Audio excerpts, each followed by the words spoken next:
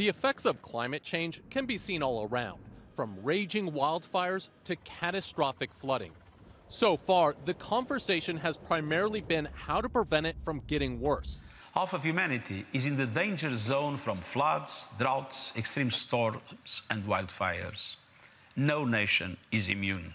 But now a team of international experts led by Cambridge University says we should be prepared for failure. Right now, I think we're being naive. We're not looking at the worst case scenarios at all, really. Researchers warn about what they call the four horsemen of the climate endgame famine, extreme weather, conflict, and disease spread by insects. Scientists are urging world leaders to investigate possible outcomes ranging from a loss of 10% of the global population to eventual human extinction. The ultimate purpose of this area of study, it's not supposed to be any kind of disaster voyeurism. It's supposed to be about understanding to prevent the worst case. A worst case climate scientists say we should be ready for if all else fails. Ian Lee, CBS News, London.